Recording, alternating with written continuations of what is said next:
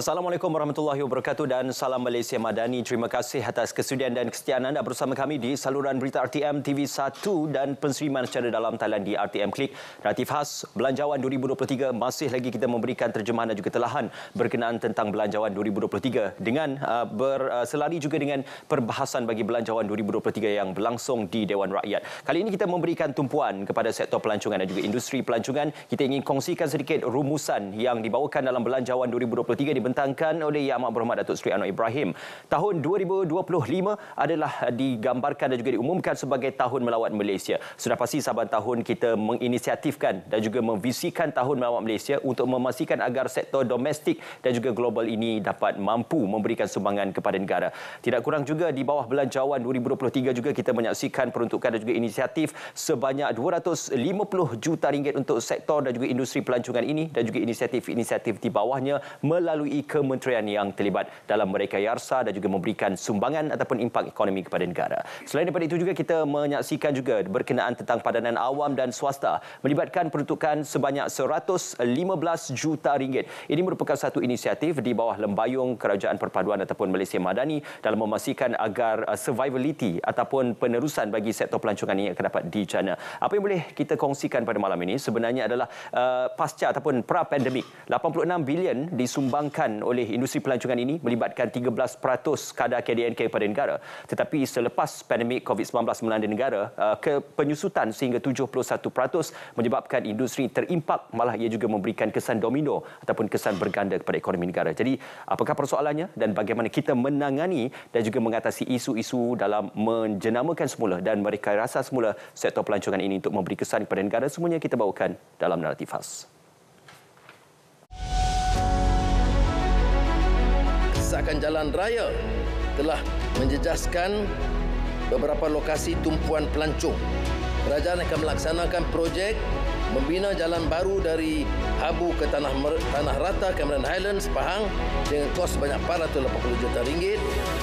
Menaikkan taraf jalan Tun Hamzah ke persimpangan Semambuk Lebuh AMG daerah Melaka Tengah dengan kos sebanyak 300 juta ringgit membina jalan dan jambatan Sungai Sepang bagi menghubungkan Bukit Pelanduk, Port Dickson dan Sungai Pelik Sepang dengan kos projek 160 juta ringgit. Bukan tambun ya Port Dickson. Menambah baik kemudahan jaringan lebuh raya ke Pengerang melalui pembinaan lorong memotong di Senai Desaru Expressway dan juga bersetuju melaksanakan projek naik taraf lebuh raya utara selatan dari Yongping Utara ke Senai Utara Fasa 1 Johor daripada 4 kepada 6 lorong dengan kos 525 juta ringgit secara berfasa.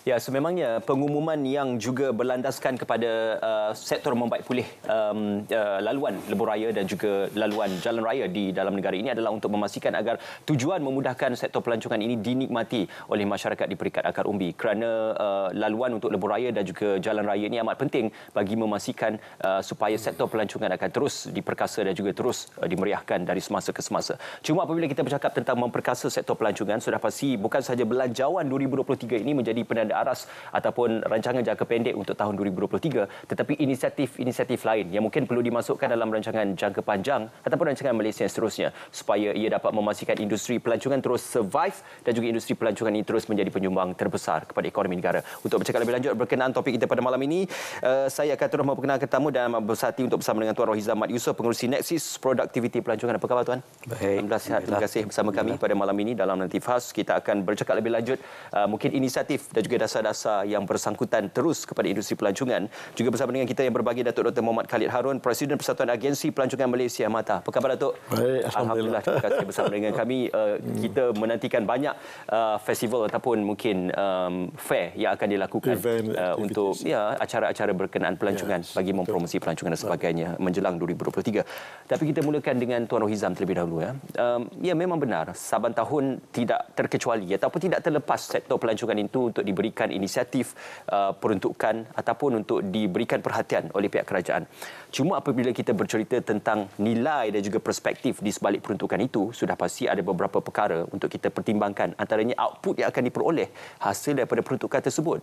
Bagi belanjawan 2023 ini, apakah ia menepati dengan kehendak pemulihan industri pelancongan pada ketika ini tuan? Okay, baik, uh, Assalamualaikum warahmatullahi wabarakatuh. Salam Malaysia Madani dan salam sayangi Malaysia. Ya. ya. Uh, untuk menjawab terus persoalan tadi, mm-hmm. memanglah tidak cukup.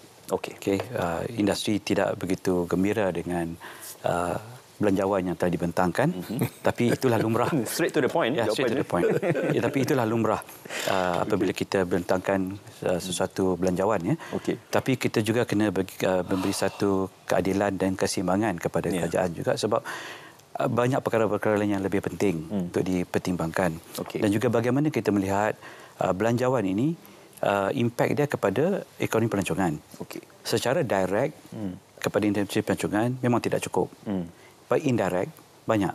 Okay. Ya, sebagai sebagai contoh kita melihat uh, infrastruktur, hmm. uh, tenaga kerja, ya, yeah. dan juga uh, green the, apa kemampanan, matlamat hmm. kemampanan dan sebagainya banyak yang sebenarnya directly related to indirectly related to tourism industry. Okay. Ini disebabkan ialah tourism industry ini pelancongan ini luas. Hmm. Ia melibatkan semua orang. Walaupun kita daripada media, yeah. daripada makcik jual nasi lemak hingga ke aero angkasa, hmm. hingga ke syarikat penerbangan, semua kita terlibat dalam industri uh, pelancongan. Yeah. Jadi bantuan kepada PMKS uh, dan sebagainya juga membantu hmm. menaikkan taraf dalam industri uh, pelancongan. Yeah. Itu saya katakan tadi kerana kita melihat secara terus uh, direct impactnya nampak terlalu kecil mm-hmm. tapi kalau kita melihat secara belanjawan secara keseluruhan uh, ianya juga banyak membantu yeah. uh, di dalam sektor uh, pelancongan ini ya mm. uh, itulah saya katakan tadi kalau bahawa uh, kiranya kita sebagai kerajaan uh, dalam pem, uh, nisbah pemberian bajet ya yeah. sama ada kita melihat daripada segi bantuan mm. pertumbuhan pembangunan kemampanan dan juga kemajuan ya macam mana kita nak distribute kan di mana pada ketika ini banyak yang diperlukan kepada daripada segi uh, bantuan rakyat lah hmm. ya tapi apa yang kita tengok juga banyak strategi-strategi lain yang tidak di uh, disentuh okay. di dalam belanjawan ini yang boleh bantu uh, industri pelancongan tanpa hmm.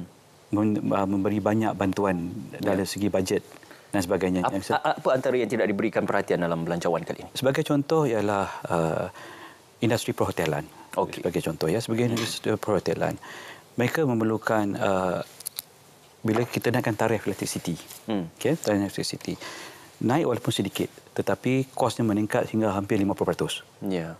Ya. Jadi apa akan berlaku ialah mereka terpaksa menaikkan harga harga, harga uh, bilik mereka sendiri, betul? Hmm. Ya. Hmm dan oleh itu akan juga mengurangkan pembelanjaan dalam segi pelancongan. Okey. Ya.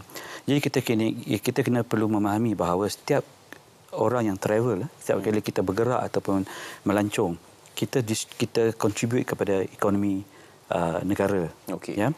Itu saya katakan tadi bahawa uh, selain daripada itu uh, contoh uh, apa nama air. Hmm. Okey, uh, apa uh, isu air sebagai contoh uh, bukan dibilkan melalui kadar penggunaan air. Okey. Uh, ada bil tetapnya. Hmm. Mengikut nilai harga hotel tu. Nilai hotel. Ya, bintangnya. Uh, bintang bukan hmm. bintang. Seperti mana okey, nilai hotel tu di iter, uh, dinilaikan oleh PBT daripada okay. apa? PBT ya. Daripada PBT bila menilaikan dan katalah tahun ni harga dia naik. Hmm. Okay, nilai dia naik. Maka harga tu pun naik. Okey. Okey. Dan selain daripada itu ialah banyak juga Bukan uh, itu patutnya amalan biasa dalam ekonomi uh, untuk melihat penawaran ya, harga dan kepatutnya dipatutnya dibilkan mengikut penggunaan okay. air, penggunaan elektrik, hmm. kan? Penggunaan air, tapi ini bukan dibilkan mengenai penggunaan air. Hmm. Ini adalah bil tetap mengikut nilai hmm. uh, bangunan ya. Okay. Ini kalau kita contoh hotel sajalah. Hmm. Dan saya beri isu itu ialah contoh juga uh, sebenarnya itu ialah isu uh, short term rental STRA ni. Hmm. Ya di mana banyak sangat uh, hotel ataupun uh, pengguna uh, homestay homestay yang tidak berlesen ya. Yeah, yang kita kena ingat lah. ya ini tidak memberi satu ekonomi yang sihat. Hmm. Di mana perhotelan mereka membayar uh, commercial rate eh, hmm. electricity, hotel permit Yeah. Tak silap saya uh, dalam hotel industri saja hampir 20 permit kena sedangkan yang homestay masih menggunakan domestic rate domestic rate dan tak ada permit hmm. jadi saya katakan bahawa makcik yang jual goreng pisang masa bazar Ramadan pun kena ada permit okey betul hmm. jadi kenapa jadi benda-benda begini sebenarnya uh, kalau kita bincang di industri hotel saja mereka tidak mereka tidak meminta bantuan daripada segi kewangan. Okey. Mereka cuma mahu melihat daripada segi pencukaian, pelesenan. Saya kira ada persatuan yang mewakili industri hotel ini tidak akan ada perbincangan dilakukan dengan ada, pihak berwajib. Ah, ini yang saya katakan tadi bahawa Nexus Productivity Nexus ini mewakili okay. hmm. semua industri. Yeah. Di mana dalam kita punya Nexus ini kita ada hmm. uh, kumpulan kerja working group okay. yang di, uh, pengusinya oleh Malaysia Hotel Association MAHO ataupun Malaysia uh, Association of Hotel Owners hmm. dan di bawahnya semua hotel persatuan hotel dalam tu. Okay. Dan kita ada lagi banyak uh, working group macam workforce, hmm. digitalization dan sebagainya. Jadi kita cuba mewakili uh, semua penggiat industri melalui Nexus yeah. agar Nexus ini adalah uh, satu platform hmm. untuk kerajaan dan juga swasta bekerjasama. Okay. Jadi memahami masalah dua-dua uh, pihak ia sebagai pemudah cara pemudah cara hmm. dan juga bawah uh, Nexus ini ataupun bawah MPC sebenarnya Malaysia Productive Corporation dia ada satu okay. agensi nama My Mudah pula okay. untuk memudah cara hmm. jadi oleh kerana itu bila kita melihat benda ini dibawa beberapa tahun dah ya hmm. tapi tidak ada penyelesaian okay. jadi dengan itu bila kita nampak uh, maaf kita on hotel banyak lagi industri lain eh. Okey sebelum sebelum kita beralih ya tuan kita uh, bergeranjak sedikit bersama dengan datuk. Ya datuk bukan saja kalau disebutkan oleh uh, tuan tadi adalah berkenaan tentang industri ini dia tidak hanya melibatkan industri itu per se tetapi juga melibatkan banyak lagi sektor-sektor hiliran di bawah ataupun di samping subsektor uh, subsektor yang boleh kita gambarkan. Um, antara lain mungkin agensi-agensi pelancongan uh, travel agent dan sebagainya yang uh, juga terkesan. Ya. kalau diikutkan sebenarnya kita tidak pernah prone ataupun rapuh disebabkan oleh ekonomi kesihatan seperti ini tetapi apabila pandemik COVID-19 melanda negara pemulihan itu digambarkan mengambil masa yang sedikit lama dan mencabar apa mungkin ini kesempatan untuk memastikan agar belanjawan ini ya. adalah belanjawan yang diperlukan untuk pemulihan tersebut. Okey. Uh, terima kasih banyak. Uh, Assalamualaikum warahmatullahi wabarakatuh.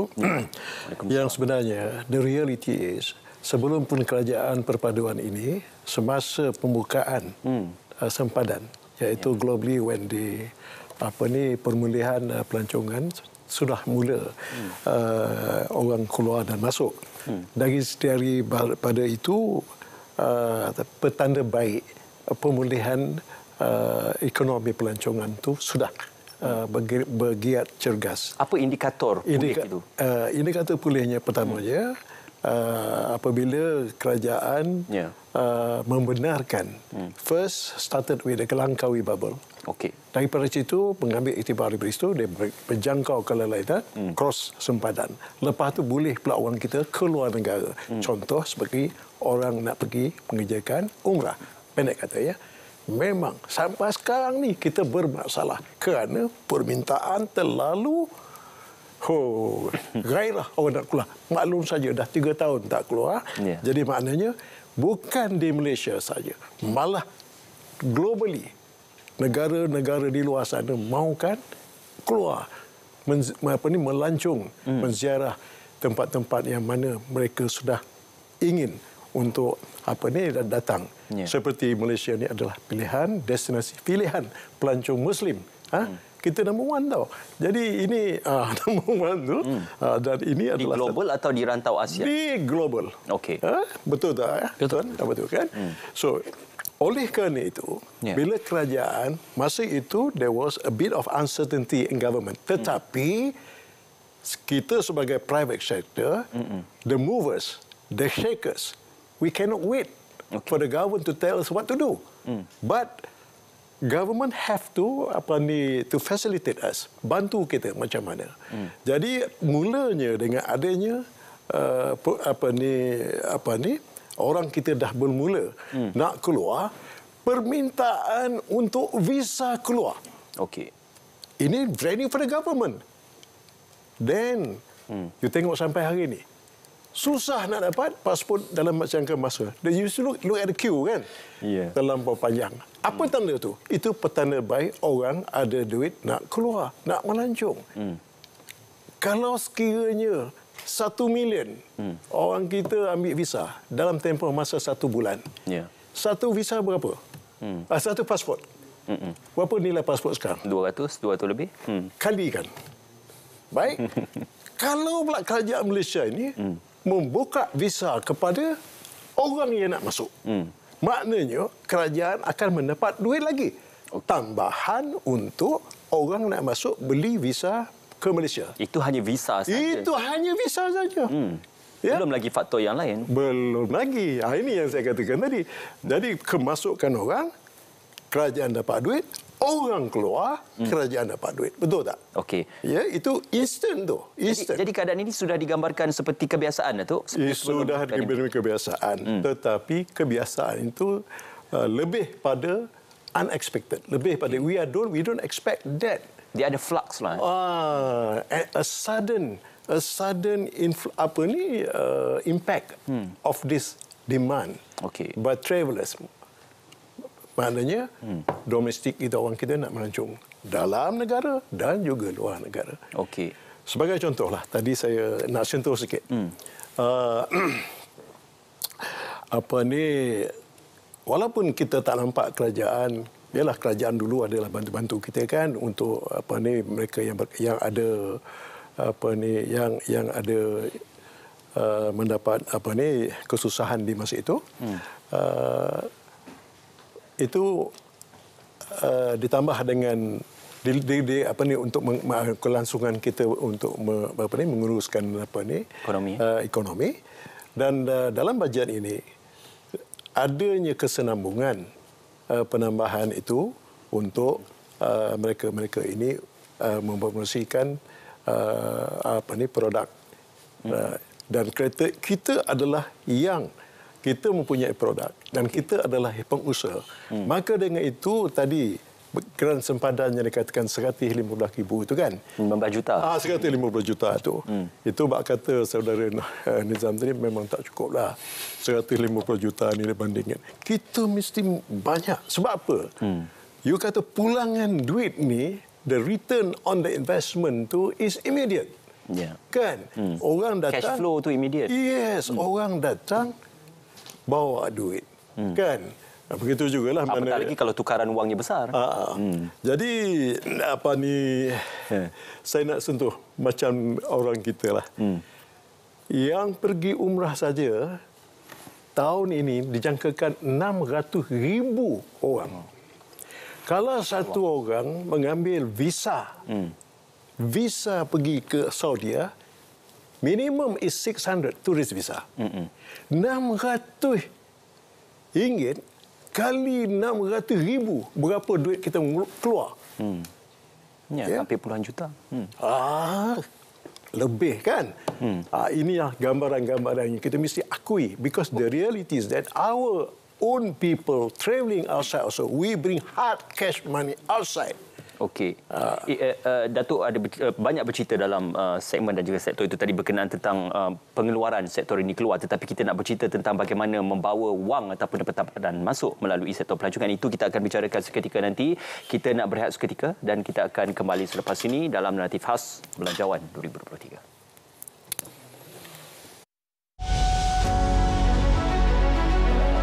Kemengan tunai rahmah fas SDR fasa 1 untuk B40. Isu rumah pendapatan kurang RM2,500 layak terima sumbangan sehingga RM2,500 bergantung kepada bilangan anak. Kerajaan juga akan memberi sumbangan tambahan RM600 juta kepada isu rumah is, uh, kepada isi rumah penerima SDR termiskin mengikut data e-kasih. Ini bermakna keluarga dalam kumpulan miskin tegar layak terima sumbangan sehingga maksimum RM3,100. STR akan membantu meringankan beban sara hidup hampir 9 juta penerima dengan peruntukan disediakan hampir 8 bilion ringgit. Kita tawarkan kredit e-tunai belia rahmah khusus kepada 2 juta orang belia di antara 18 hingga 20 tahun dengan peruntukan 400 juta ringgit.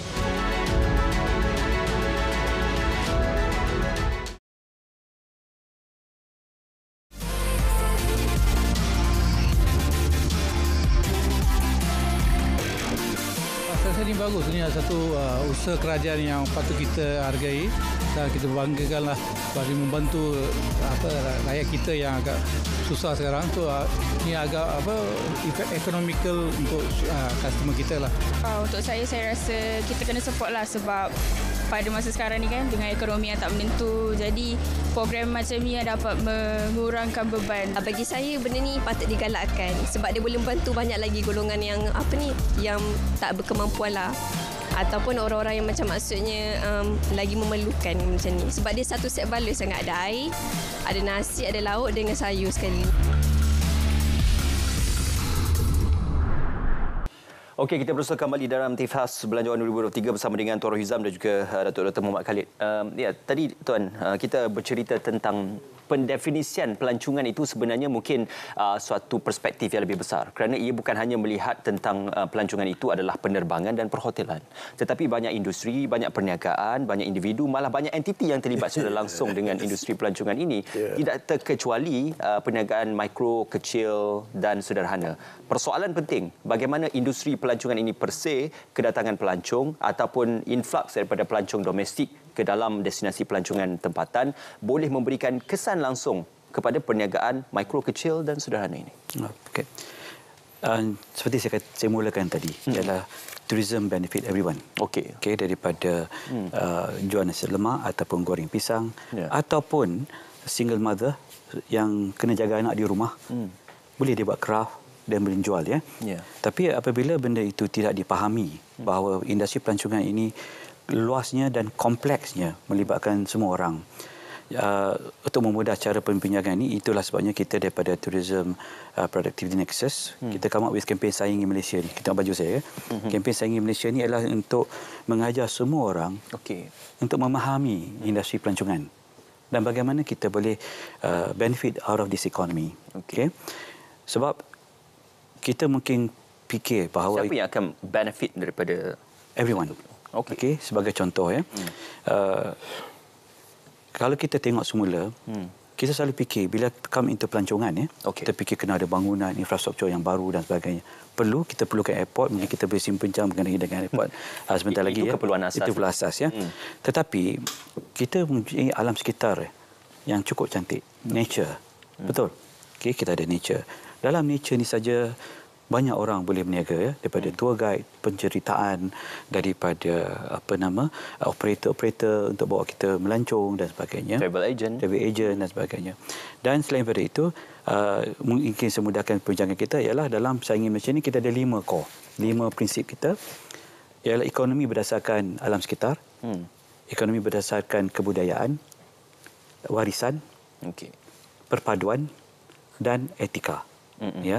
Di mana semua ini adalah kita punya kekuatan sebenarnya. Bila kita tengok alam sekitar, kita ada diving, kita ada snorkeling, kita ada gunung, kita ada mm. apa gua, macam-macam kita ada, ya. Bila kita kata barisan uh, budaya, kita daripada budaya berbagai bangsa yeah. ya yang begitu kaya. Apabila kita berkatakan dengan uh, warisan kita, hmm. masya-Allah banyak warisan kita yang kita ada, yang kita boleh uh, promosikan. Okay. Perpaduan antara satu kekuatan kita sebab dulu apabila pelancong datang ke Malaysia ni hmm. bila dia tanya apa kenapa dia datang Malaysia sebab orangnya hmm. okey pelbagai bangsa ya dan uh, etik etik ini amat penting sebab kalau kita ajar semua orang uh, mengadaptasikan pelancongan uh, bermula dengan senyuman bermula dengan tutur kata yang baik ya hmm. Orang akan datang tempat you, orang akan makan tempat you, orang akan beli barangan you. Uh, tuan, itu tidak dinafikan. Keunikan dan apa jua nilai estetika pelancongan itu memang kita punyai sejak puluhan tahun yang lalu. Tetapi ada mungkin uh, aduan ataupun mungkin rungutan uh, berbanding kita dengan negara-negara uh, serantau yang lain. Mungkin seperti Singapura, Thailand malah Indonesia. Yang pertama, promosi pelancongan negara kita mungkin agak ketinggalan sedikit di belakang berbanding dengan negara-negara serantau. Yang kedua, dari segi apabila pelancong sudah datang ke dalam negara kita dan menyertai pakej-pakej pelancongan, mungkin satu sistem yang uh, teratur dan juga sistematik diperlukan. Kerana kalau dibandingkan dengan negara lain, mungkin kita mempunyai tarikan tetapi bagaimana kita mengeksploitasi tarikan itu tidak seperti sepatutnya. Betul. Apa ini mungkin kelemahan saya yang setuju. Sebagai contoh, hmm. ini contoh saya selalu berikan ialah kalau uh, Ismail tahu yeah. Lenggong, pernah pergi Lenggong? Ya. Yeah. Hmm. Apa ada di Lenggong? uh, tarikan tarikan uh, uh, uh, arkeologi dan arkeologi dan sebagainya. Dan ia merupakan satu destinasi hmm. di bawah UNESCO Heritage. Oh, betul. Hmm. Ya, okey. Saya bagi lagi satu pemandangan Borobudur. Hmm. Juga salah satu daripada produk UNESCO Heritage. Ya. Betul? Hmm. Tapi sekali lagi kita pergi ke sana, hmm. beribu-ribu orang datang setiap hari. Apabila uh, pelancong datang, ya. siapa yang akan benefit? Hmm penduduk di situ, penduduk setempat. Hmm. Ini kita panggil community base ya.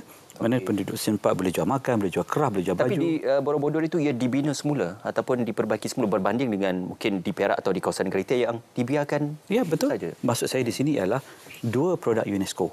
Okey. Satu persoalan tadi ialah hmm. pemasaran. Hmm. Selain pada pemasaran kita kena juga ada juga tarikan, betul? Okey. Jadi di mana kita bila melihat di Borobudur, hmm. bila bila adanya semua uh, apa ekonomi begitu, hmm. ia telah melibatkan semua PMKS, penjual makanan hmm. dan sebagainya. Okey. Tapi UNESCO site kita namanya Lenggong tidak ada apa-apa. rugi tak rugi tak? Rugi ya sebab bila kita nak apply UNESCO ni kita belanja tinggal nama Perak Men saja. Tinggal nama Perak Men hmm. ya. Jadi apa maksud saya di sini selain itu kita juga ada tasik sini. Okey. Yang mana also saya rasa dah mungkin dah hilang uh, status uh, uh, UNESCO-nya. Kisah dongengnya masih ada? Kisah dongengnya masih ada. tapi penceritaannya tidak ada. Okay. Uh, jadi kalau kita bandingkan begitu, memang kita perlukan bukan hanya pemasaran, hmm. pemasaran yang betul, strategi yang baru. Eh, yeah. Dan juga melihat identify produk yang mana kita perlu uh, menekankan, ianya bukan hanya setakat produk itu saja, bagaimana ia boleh membantu menjani ekonomi komuniti setempat. Okay. Ini saya katakan advanced community based tourism. Hmm. Community based tourism ni biasanya kita bantu-bantu eh. Bila advance ni ia akan dia akan memberi uh, impak kepada seluruh komuniti. Okay. Saya juga ingin mungkin kalau saya boleh tekankan lagi satu produk nama dia Min Camp Kota Baru. Hmm. Ya. Asalnya satu homestay yang kecil saja. Okay. Tetapi sekarang ni dia dah grow to the point di mana ramai yang datang tempat dia. Okay. Dia dah ada uh, penginapan, dia ada conference room, tetapi bukan ben, uh, benefit ini bukan hanya dia saja, tapi semua orang keliling, orang buka restoran, orang buat uh, boat bawa pancing, orang jual makan, orang buat uh, paintball, macam-macam. Yeah. Jadi bagi saya begitu kalau semua orang memahami pelancongan ini dengan dengan secara baik, hmm. semua orang boleh uh, benefit. Jadi apa yang kita mahu ialah daripada kerajaan ya, sebab ini belanjawan ya. Dah uh, kempen yang kita katakan dalam saingan Malaysia ini is to build to build a great tourism nation. Okey. Okey, a great tourism nation sebab melalui pelancongan ni kita boleh membantu semua orang dan menaikkan uh, taraf ekonomi. Hmm. Baik sekarang saya terfikir balik sampai bila kita nak uh, hmm. address people B40, M40 sampai bila? Yeah. Kita kena ada uh, juga jalan untuk keluar dari yang lebih menyeluruh. Yang lebih menyeluruh. Hmm. hmm, hmm. Dan apabila kita buat kajian bahawa yeah pelancongan ini merupakan satu industri yang perlu ditekankan dengan lebih uh, mendalam ya. Okay. Sebab ianya boleh bantu uh, orang yang tidak ada pelajaran ataupun hmm. not educated ataupun ada yang masalah yang terpaksa duduk di rumah. Okay. Everybody can benefit. Okay. Uh, saya nak bertanya pada Datuk. Um, ada antara pintu utama ataupun gateway ya untuk kita merancakkan industri pelancongan membawa uh, pelancong-pelancong asing. Yang pertamanya adalah uh, lapangan terbang. Yang kedua adalah sistem penerbangan dan yang ketiga mungkin melibatkan travel agent ataupun uh, agent pelancongan. Jadi perihal ini amat penting kerana ketiga-tiga faktor dan elemen ini membawa satu gambaran dan juga nilai. Uh, kita tidak uh, tidak mahu uh, infrastruktur yang bertaraf um, nombor satu sekalipun tetapi apa yang penting yeah. adalah bagaimana kita menyantuni pelancong-pelancong yang datang Datuk. Betul, ini benar. Dulu kita pernah kita ingat ya. Yeah. Masa tu di zaman uh, Prime Minister Tun Mahathir lah. Hmm. I think during his time we built a first class airport. Okay. We compete with our our neighbors. Hmm. And then uh, KLIA uh, was uh, the best airport. The best airport. Hmm. Tetapi malangnya Malaysia Airlines was the best airline. Yes, hmm. tapi malangnya hari ini apa yang terjadi yeah. kepada KLIA kerana ketahanan maintenance factor ni lah hmm. sustainable ah dia tak boleh sustain hmm. nak keep up uh, that airport up to what is expected by the travellers yang visit kita hari itu kita dapat komplain hmm. mereka comparekan Singapura Changi Airport dengan KLIA. Dia baru terbang ke, ke, ke uh, Changi. Di Changi tu, ada air terjun dalam lapangan terbang. dia lepas tu dia datang ke KLIA. Okey. Ya, dia terperanjat. Hmm. Tengok KLIA begitu jauh ketinggalan daripada Changi. Okey. Baru-baru ni pula kita dilaporkan yang daripada daripada satelit hmm. nak pergi ke apa ni terminal yang di sebelah sini kerosakan train kerosakan train ini hmm. dah berlaku dah lama yeah. tetapi inilah dia sebagai contoh kan hmm.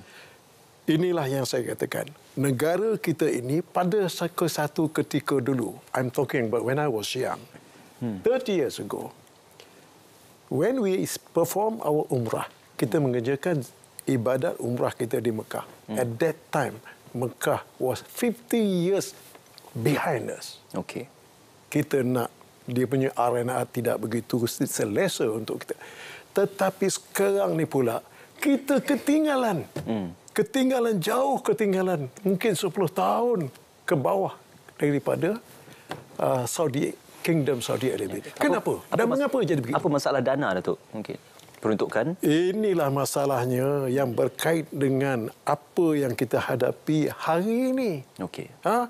Ketirisan, corruption, ha, macam-macam lagi tak guna cerita lah. So, we have plenty of resources. But where are this money goes to? We don't yeah. know. That's why we are bankrupt. Because actually this money we can use for sustainability, maintenance and all that. Mm. Tetapi malangnya, ha?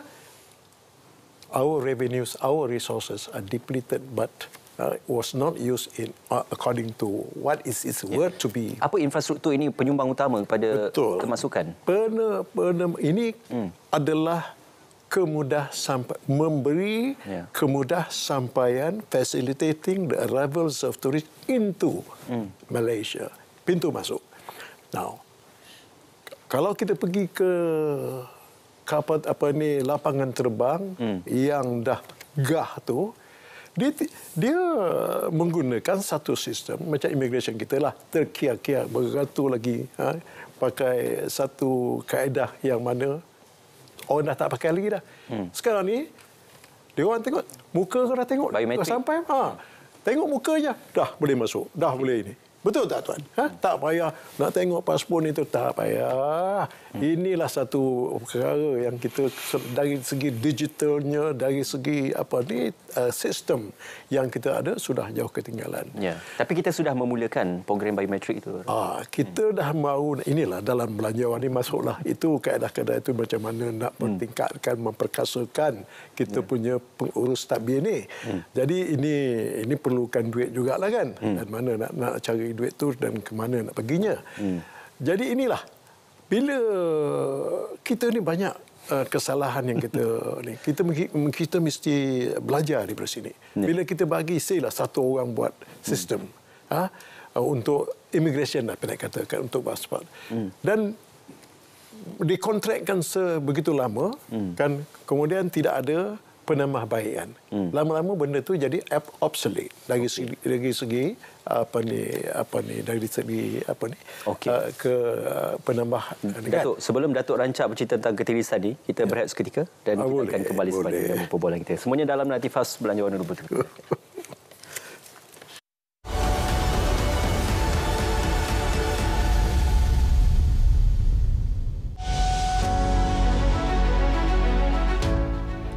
Salah satunya inisiatif menu Rahmah yang menganjurkan jualan set hidangan pada harga RM5. Alhamdulillah menu Rahmah ini dijangka akan terus menerima sambutan yang baik.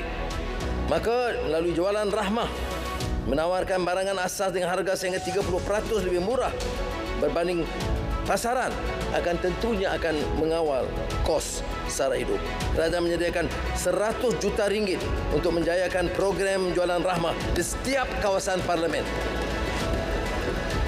Kerajaan juga akan meningkatkan keperluan sebanyak 200 juta ringgit kepada 225 juta ringgit bagi memperluas program pengedaran barangan keperluan asas ke 25 kawasan baru antaranya di Paluh dan Pasir Sarawak, Pasir Raja Terengganu dan Kuala Krai Kelantan.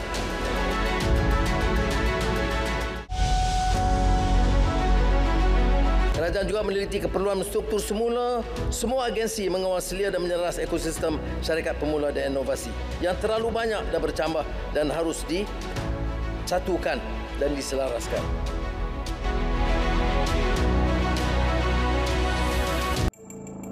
Saya merasa sunyi dan perasaan sedih berpanjangan.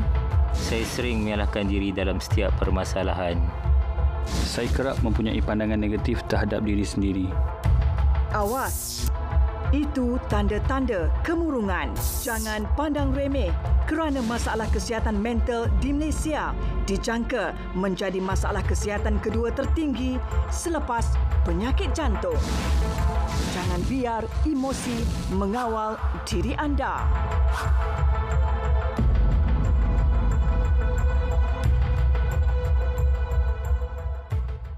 Munajat Perdana untuk Malaysia bersama Yang Amat Berhormat Datuk Seri Anwar Ibrahim, Perdana Menteri secara langsung dari Stadium Ceras, Kuala Lumpur pada hari Sabtu 11 Mac 2023 pukul 9 hingga 10.15 minit malam di TV1, rtmclick.rtm.gov.my, Facebook TV1, Jakim dan YouTube TV Jakim. Orang ramai dijemput hadir.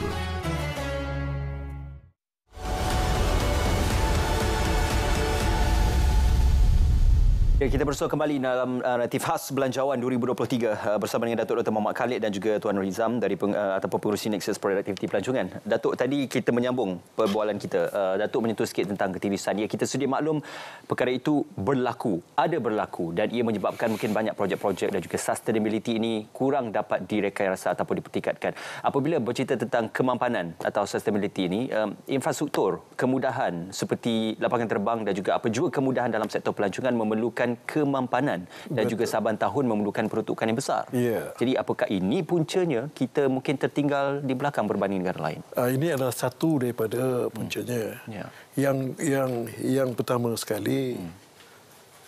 punca yang saya ni nak nak tekankan ialah hmm. the number one man in Malaysia ni that is our prime minister. He must be he must have interest in tourism. Okay. Because tourism, if you talk about tourism, it covers almost all ministry. Mahu atau tidak perlu yes. ada It covers almost all ministry. You name it. You name it. Yes. Say transport, Ministry of Transport. We need transport, but in our license given by Motec, but there are other things. Mm. Our buses, our vans and all that, we need to pay another apa ni to uh, courtesy call to the Ministry of Transport. Even pendidikan pun melibatkan. Pendidikan, hmm. you name it. Yeah.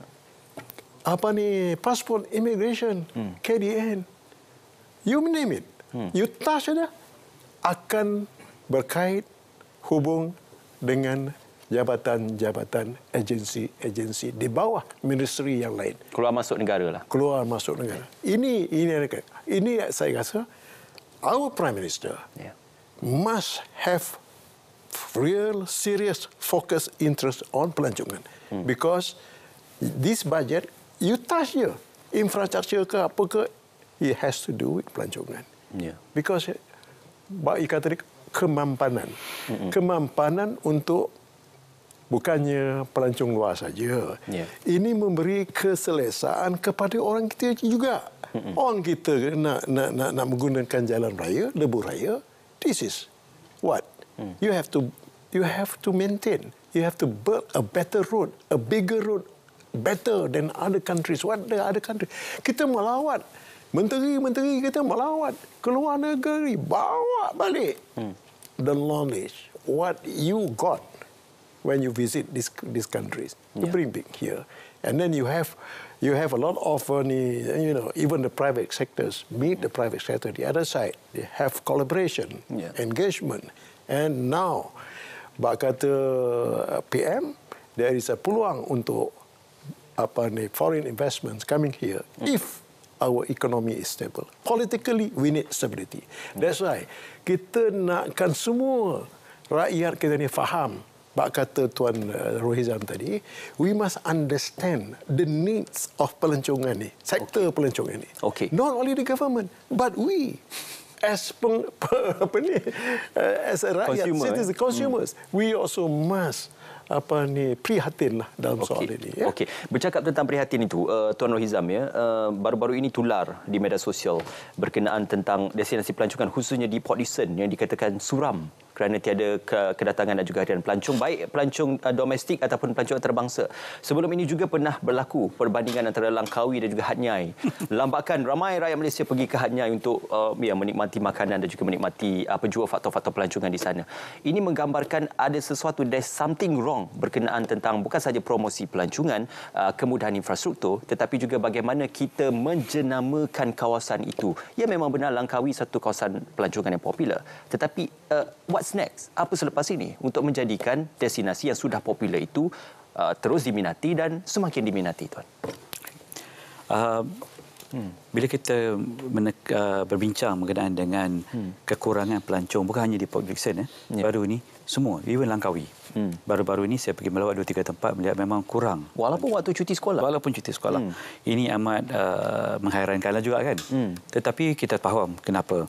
Semasa kita membuka sempadan ya sebelum kita buka sempadan kita buka sempadan uh, negeri kan ya yeah. kita panggil revenge tourism semua orang nak travel dah pergi merata-rata betul hmm. kan dan masa tu pula work from home lagilah boleh pergi ke mana-mana okey yeah. Tetapi apabila produk tu dah semakin stagnan ataupun sama hmm. jadi orang kita memilih untuk keluar Ya. ya dan kita tengok pula di airport kita ramai yang keluar sebenarnya. Hmm. Dan termasuklah kepada ke Thailand dan hmm. sebagainya. Itu yang paling dekat lah. Itu paling dekat lah. Indonesia ramai. Hmm. Jangan terkejut saya kata flight ke Turkey penuh all the time. Jadi saya cakap umrah lah. Turkey penuh all the time. Turkey ya, penuh. Tukaran wangnya lebih murah. Tak juga. Hmm. It's that kita memang seperti saya katakan tadi, hmm. kita semua nak bercuti. You kerja pun nak bercuti. Yeah. Sama ada you ada duit, boleh cuti keluar. Atau tak ada duit, cuti duduk di rumah. Kan? Cuti lah juga kan. Tetapi apabila kita melihat begitu, kita kena memahami balik tourism era baru. Hmm. Ah, yang sebab apa? Ramai belum memahami apa itu era baru dalam segi pelancongan. Eh? Okay. Ah, okay. Di mana era baru ini menekankan kepada uh, Sustainable Development Goal, SDG. Okay. Ini, ini pasca pandemik atau sebelum itu lagi? Sebelum tetapi sekarang semakin penting. Okey. Ya di mana kalau kita tengok milenial sekarang ni 80% daripada milenial worldwide ya. Okey. akan travel ke tempat ke negara yang mengamalkan dan menekankan SDG ni. Mm-hmm. Okay, uh, ataupun sustainable development uh, goal ataupun uh, matlamat pembangunan mampan dalam tourism kita panggil uh, sustainable tourism lah. Okey ya. Dan milenial ni dia akan buat research. Hmm. Oh, negara ni tak. Kadang-kadang kita tengok tempat yang simple macam di Thailand. Hmm. Tapi sebabkan mereka mempromosikan SDG mereka, hmm. orang pergi sebab dia pergi bukan kerana hanya nak melancong dan juga dia tahu dia dia akan memberi impak kepada ekonomi sesuatu kawasan itu juga. Okey. Ini era baru ya. Nombor dua ialah selain daripada itu uh, menekankan kepada uh, gig ekonomi. Hmm ya gig ekonomi juga merupakan era baru dalam segi uh, transformasi pelancongan sekarang ini. Okey. Dan juga kita melihat digitalization hmm. kan? Jadi apabila kita macam kita kata tadi walaupun airport kita belum fully dah tak ke belakang balik kan? Ya. Setengah tempat semua dah digital. Hmm. ya? You nak travel ke sana ke sini semua kita boleh uh, online online. and bila kita bincang pasal smart tourism hmm. ya dalam smart tourism ni pula kalau kita under sustainable bagaimana kita tengok energy efficiency penggunaan energy hmm. efficiency waste management ya dalam SDG ni kita ada 17 SDG jadi ya. kita tak nak bincang 17 SDG ni panjang kita ya, yang penting saja kita ya, yang penting ialah hmm. dalam tourism macam saya kata tadi hmm. alam sekitar warisan budaya bagaimana kita protect supaya pelancong datang dia faham hmm. inilah identiti negara kita Okay. Yang kita amalkan balik sekarang ni, yang dalam saingan Malaysia kita amal balik benda ni. Hmm. Sebab kita hilang identiti. Pertama kita dah hilang identiti. Di mana kalau kita pergi Thailand apa dia buat? Hmm. Sawadikap. Ya. Kita dah mana tak tahu. Hmm. kan? Jadi, kita kena kembali kepada asas pelancongan nombor satu. Senyuman, tutur kata, bahasa dan sebagainya. Itu keunikan kita. Kemudian kita upkan balik kepada climate change, pemahaman industri kemampuan. Saya rasa dalam bajet baru ni, dalam uh, ikhtiar mendepani musibah bencana ni hmm. banyak bajet termasuk uh, dipanggil apa kemudahan uh, biayaan teknologi hijau saya kira kebersihan juga satu faktor kerana isu tandas awam pernah diperdebatkan itu saya katakan tentang dalam etika tadi hmm. etika tadi kita berkempen jangan buang sampah dah rasa dekat 30 40 tahun. Tapi masih lagi kita buang hmm. sampah betul. Hmm. Yang banjir ni pun kerana mainly because kita buang sampah dan stuck in kat longkang betul. Yeah. Dan banyak merokok di tempat-tempat kita masih buat begitu. Hmm. Jadi etika kita masih uh, belum mencapai uh, di mana transformasi era baru pelancongan ini kita masih minda kelas ketiga masih boleh dikatakan begitu sebab ada sebahagiannya bukan ke sebagai contoh hmm. pelancong datang kita hmm. nak menyambut tetamu ya. tapi kalau petrol station kita pun toilet kotor hmm. Kan kadang-kadang mesti domestik pelancong domestik ni berapa ramai yang pakai toilet uh, petrol station itu dah impresi yang impresi. buruk dah habis hmm. betul jadi permulaan itu pun saja telah menunjukkan kita ni tidak memahami yeah. uh, industri pelancongan ini dengan mendalam, dengan mendalam hmm. dan kerana itu kita tidak mendalami uh, uh, matlamat pelancongan mampan okay. dengan tidak mendalami matlamat pelancongan mampan kita masih ke belakang dalam transformasi industri uh, pelancongan kita okay. dan kita will go back and back and back. Ya, yeah. itu saya setuju kerana dalam sektor pelancongan ini punca dan akibatnya itu meluas. Kita tidak hanya berbincang kepada per se pelancongan semata-mata tetapi banyak faktor-faktor yang mendominasi dan juga menjadi penyumbang. Uh, Datuk dan juga Tuan Hizam kita nak uh, berehat seketika dan kita kembali selepas ini dalam naratif khas pelancongan.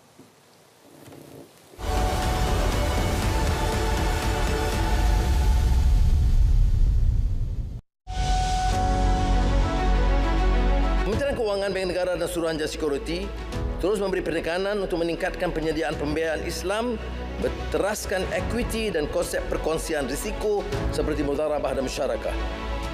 Bank Negara Malaysia perkenalkan Climate Risk Management and Scenario Analysis towards a greener financial system and Financial Inclusion Framework 2023-2026 dan di peringkat global, General Council for Islamic Banks and Financial Institutions turut telah mengeluarkan Sustainability Guide for Islamic Financial Institutions. Bermula 2024, aset simpanan syariah akan diasingkan sepenuhnya bagi memberi pulangan yang kompetitif kepada 125 juta ahli yang memiliki akaun syariah. Ini pendekatan baru supaya bersih pelaksanaannya yang tidak difikirkan sebelumnya. Sesuai dengan kerangka madani, kaedah wakaf merupakan salah satu mekanisme pengagihan semula kekayaan yang menyumbang kepada kesejahteraan sejagat.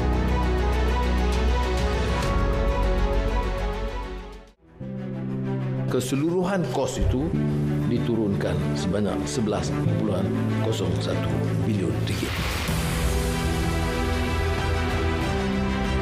Kalau kita lihat kos keseluruhan ECRL lebih rendah 11.01 bilion ringgit banding kos keseluruhan asal ECRL sebanyak 85.97 bilion pada tahun 2016. Keputusan kita itu meneruskan. Naratif khas Belanjawan 2023, kita memberikan gambaran pencerahan apa mungkin yang boleh diperbaiki ataupun yang boleh direkayasa dalam Belanjawan 2023 ini. Uh, Datuk, ya sudah pasti dalam Belanjawan ini setiap kementerian mendapat peruntukan, menerima peruntukan. Tetapi apabila bercerita tentang satu sektor yang melibatkan ke semua aspek dan kementerian tidak boleh bergerak in silo ataupun tidak boleh bergerak bersendirian. Perlu bergerak bekerjasama. Apakah itu masalah dan juga perkara yang perlu diperbaiki pada ketika ini? Yes, betul. Hmm. Saya nak bagi satu contoh.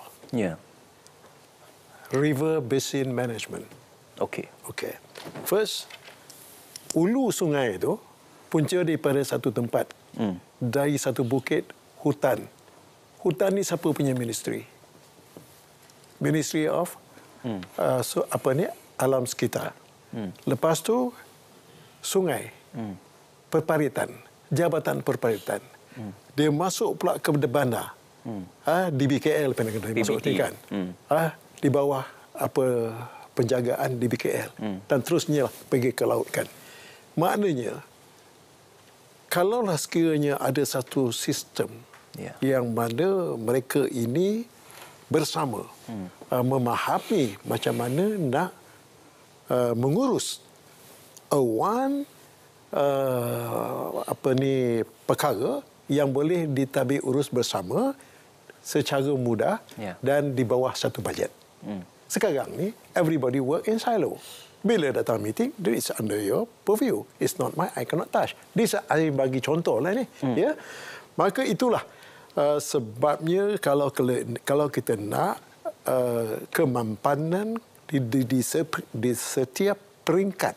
Mm-hmm. Mau sama ada kemampanan itu dari dari segi hardware-nya ataupun software-nya, maka mereka inilah mesti bersama-sama yeah. menuju ke arah itu.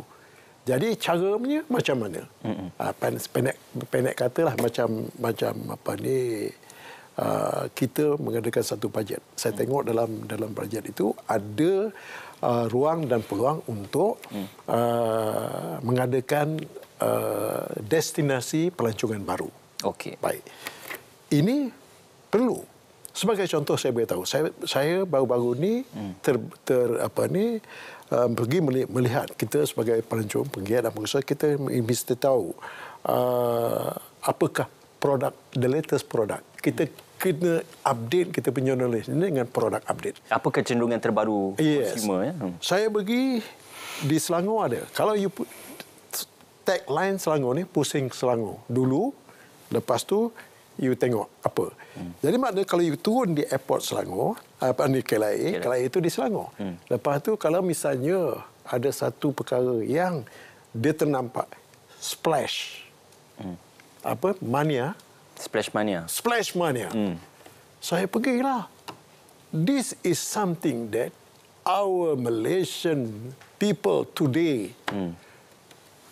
ber, apa ni queue up and to get they book the the tickets online tetapi to get the the the, the, the, the, the real physical ticket they have to go there queue and sampai jam highway nak ke sana jam highway nak ke sana betul tak so you need to create product like this okay so that because this is the biggest in this part of the world hmm. and this news spreads tapi Datuk, saya menyentuh berkenaan taman tema itu. Yeah. Memang uh, pada permulaannya ia dilihat bagus, tetapi yeah. ada juga contoh-contoh taman tema ataupun tarikan pelancongan yang sudah jadi gajah mati. Itu tidak berfungsi. Sustainable we are talking about sustainability. Adakah mereka ini boleh mampu apa ni menjaga keadaan itu seperti apa yang dimula dan seterusnya membuat penambahan baik ya. dengan tidak berhenti. Bukan hype 2 3 bulan saja. Yes. Hmm. Inilah sebagai contohlah servis lah. Hmm. Ya. Kita tadi Tuan Reza berkata, hmm. kita kalah dari segi ini, servis kita, cara kita, budaya kita sudah hilang. Kalau kita kalah dengan Indonesia. Hmm. Kita duduk saja, Pak, Bapak nak makan apa? Lain rasa tu dia terasa. Hmm. Eh, budaya servis dia berbeza dengan kita. Kita kita kena laung, kita, kita kena panggil. Hmm. Eh, Jang, eh, Dek, mari sini. Kan? Betul ni.